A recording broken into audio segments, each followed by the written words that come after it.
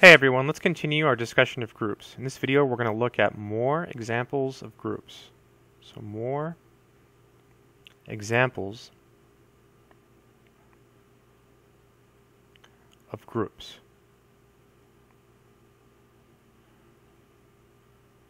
So let's start with a very special group. It's actually called the special linear group. So this is called the special linear group. And we'll talk about why it's a group.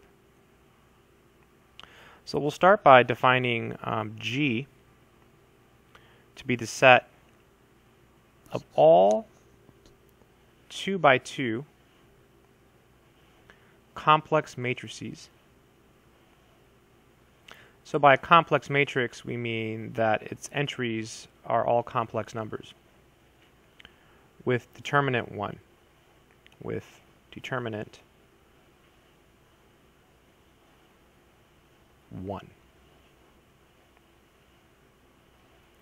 And we can write down G in a more concrete fashion as follows.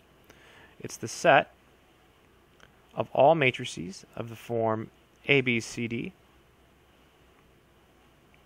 such that A, B, C, and D are all complex numbers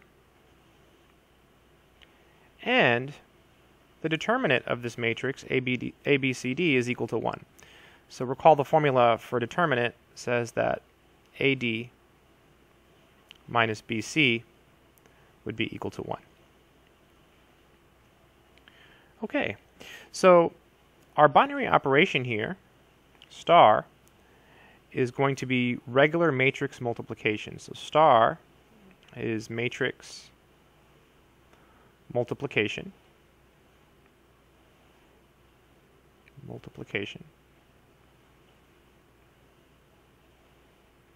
And note that matrix multiplication is not necessarily um, commutative, right? So, in fact, it's not always commutative, so it would not be a commutative operation. So this will be our first example of a group that's not commutative. Uh, commutative groups are called abelian groups. So this is actually an example of a non-abelian group. So it's our first, it's our first non-commutative group. So we have to show that um, star is a binary operation on G. So note, for any two matrices, A and B in G, we have to show that the product AB is also in G. So what we do now is we write down what it means for A and B to be in G. Well, A is in G means that the determinant of A is equal to 1. And B is in G, so that means that the determinant of B is equal to 1. This is precisely what it means for A and B to be in G. So for any A, B, and G, we have this. So we want the product to be in G. That means we have to look at the determinant of the product.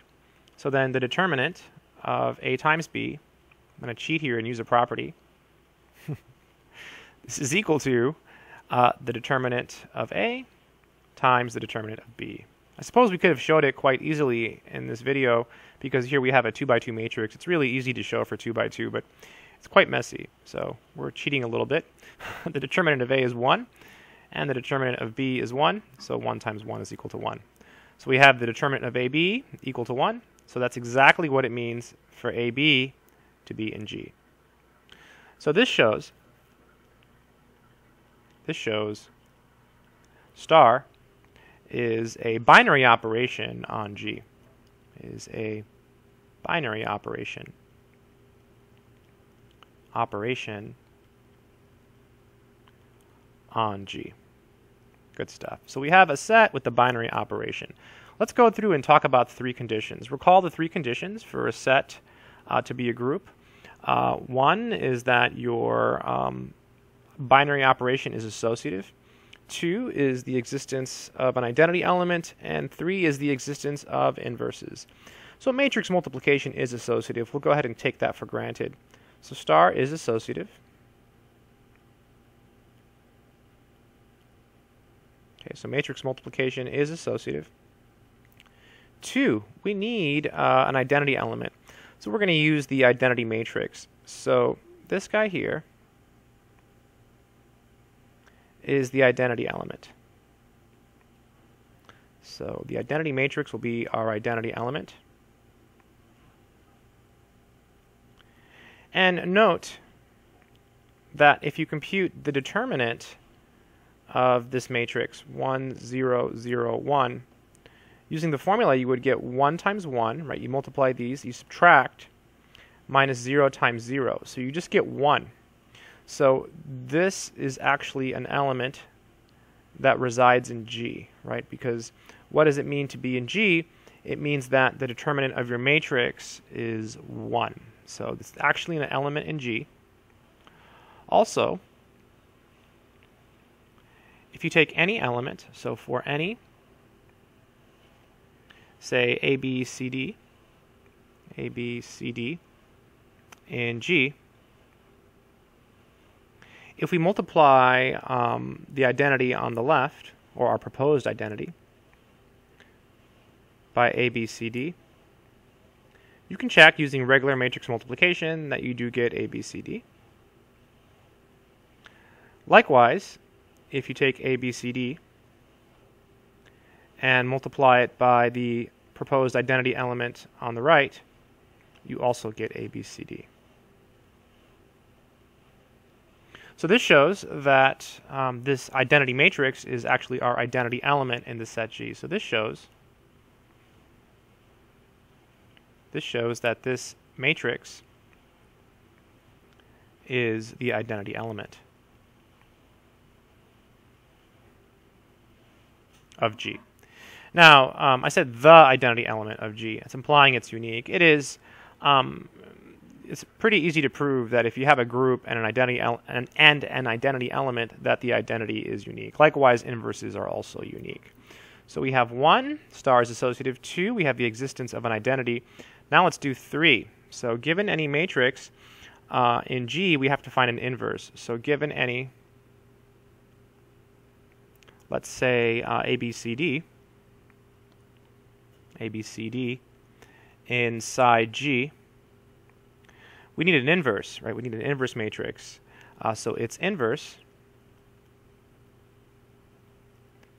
is, and the inverse matrix, what we do, what we'll do here is we'll swap the um, diagonal elements and we'll put negative signs in front of the other ones. So how did I know to do that? Um, just just recall from let's just go over here and I'll show you. Just recall from the past if you have A equals um, A, B, C, D. The inverse of A, like when you when you study linear algebra, it's it's one over det A, because det A is not zero if your matrix is invertible. And then you swap the um, diagonal entries and you put negative signs in front of the other ones. So in this problem here, I know that the determinant of A is going to be 1. So I know this matrix should work, right? It should work. So if we have a matrix in G, we're claiming that this is going to be the inverse. So 1 over det A is just 1 over 1 in this problem. That's why I didn't write it. And the claim is that this is in G, first of all. So this is in G. And uh, I'll, I'll just put this in parentheses here. This is because, well, let's see, what is the determinant of this matrix? It would be dA minus, and then negative b times negative c is bc. Well, that's the same thing as AD minus BC. That's the determinant of this matrix here, right? AD minus BC, and that's in G. So AD minus BC is equal to 1. So over here, it's also equal to 1. And so that's why this matrix resides in G. And now we can explain why it's the inverse. Well, if you take AB, CD, and you multiply it by d negative b negative ca. Let's go ahead and, and do the multiplication carefully. So we want the entry in the first row, first column, so we use the first row, first column. So it'll be AD, okay, AD, uh, and then uh, minus BC. Sorry, we have AD uh, minus BC. I think I wrote something down wrong here. Let me check. So we have AB, CD, D negative B, negative CA. Right, so we have AD minus BC. Hmm. Let me just check this. So we switch these. We have negatives here. So ABCD. And then this says D, negative B, negative CA. Yeah, so it'll be AD plus negative BC, so minus BC. There it is. And then it's negative AB plus AB. Thought I messed up there for a moment. Little brain failure. CD minus CD, and then negative BC uh, plus AD. Yikes. Okay, so AD minus BC is 1. This is 0. This is 0. This is 1. And likewise, you can check that the other multiplication also works. So if you do D negative B negative CA times ABCD, you can also check, and this also gives you uh, this. Yeah, the reason I got confused there is because uh, I was subtracting. I, I got so stuck on um, uh, finding determinants. Remember when you you're adding here, right? When you when you when you multiply to find this first entry, it's AD plus and then B times negative C. So it's AD minus BC. I got so used to computing determinants that was subtracting. I'm like, no, there's a mistake. Okay, so this shows that um, this is the inverse element. Um, so we have a set. It has associativity. Uh, it has an identity element, and we have inverses for every element. And so we have what is called a group. So this shows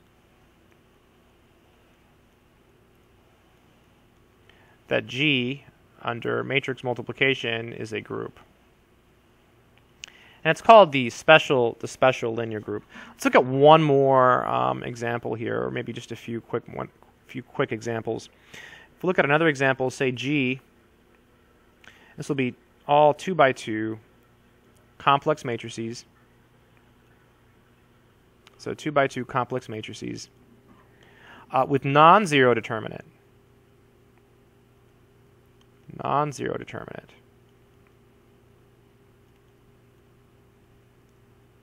And again, we'll let um, star, in this case, be uh, matrix multiplication. Matrix multiplication. This is also a group. This is called the uh, general linear group. So general linear group. General linear group. So the uh, special linear group is a subset of the general linear group. And later on we'll learn that whenever you have a subset of a group that's also a group under the same operation, it's called a subgroup. So the special linear group is a subgroup of the general uh, linear group. Let's look at uh, maybe one more example, just one more. Um, if we take complex numbers and we have an n here, this is going to be the set of all n tuples of complex numbers. So a1 dot dot dot a sub n. And then here each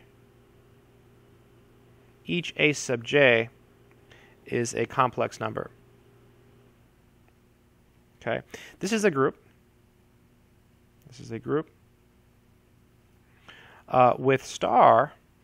So star in this case is going to be component-wise addition. So component, component-wise addition. So star will be component-wise addition. So if you take an element a1, comma, dot, dot, dot, a sub n, and you star it with another element, say b1, dot, dot, dot, b sub n, what you do um, is you just add the corresponding entries. So it'll be a sub 1 plus b sub 1, comma, dot, dot, dot, comma, a sub n plus b sub n. And this is going to be a binary operation um, because if you take two complex numbers, you get a complex number. So each of these guys resides uh, in C, and each aj plus bj is a complex number because the complex numbers are closed under addition. So this is certainly an element of this set here, c to the nth power. Um, the first condition is pretty easy to show. Uh, so star is associative. So star is associative.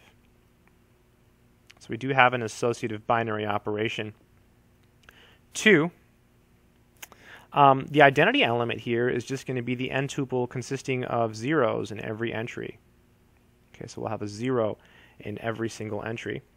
So this is the identity, is the identity.